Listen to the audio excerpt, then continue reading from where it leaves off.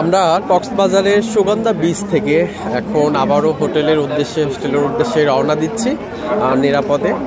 দেখতে পাচ্ছেন আমরা যাওয়ার পথে দেখতে পাচ্ছি রাস্তার দুই পাশেই বিভিন্ন প্রকারের দোকানপাট বসেছে যেগুলো দর্শনার্থীরা বিভিন্ন জেলা উপজেলা থেকে যারা আসছেন, তারা কিন্তু এখানে খাওয়া দাওয়া করছেন, দাম দর করছেন, অনেক কিছু দেখছেন যেগুলো নতুন নতুন কিছু যেগুলো হয়তো দেখেনি। এখানে দেখা যাচ্ছে মাছ মাছ জাল দিচ্ছেন রূপচাঁদা বিভিন্ন যে জাতের মাছগুলো আছে।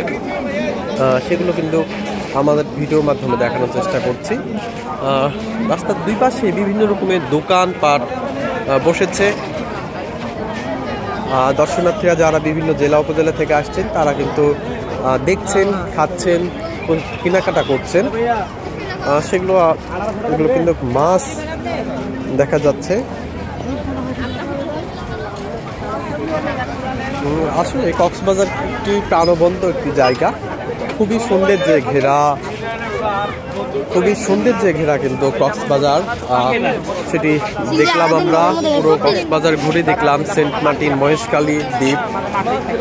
এগুলো কিন্তু আমরা দেখলাম। এই যে হাতে বাম পাশে মাছ। বিভিন্ন প্রজাতির সামুদ্রিক মাছ দেখা যাচ্ছে, কাঁকড়া দেখা যাচ্ছে।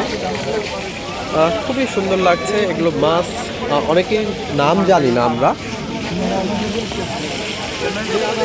যেহেতু বিদেশি মাছ সেজন্য নাম জানি না সঠিক।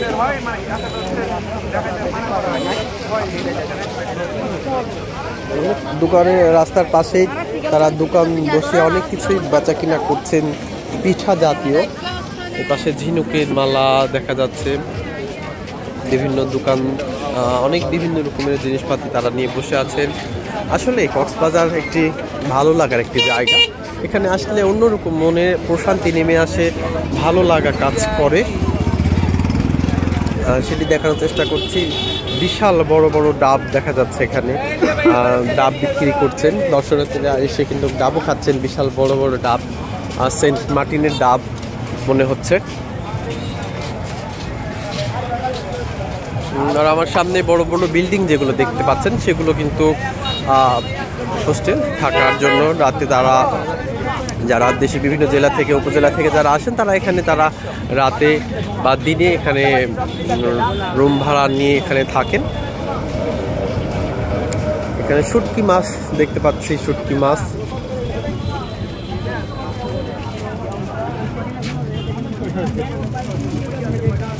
কত করে এগুলা মাছ?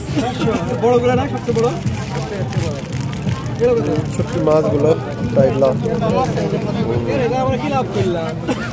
এখানে। কত দিবা তুমি কত দিবা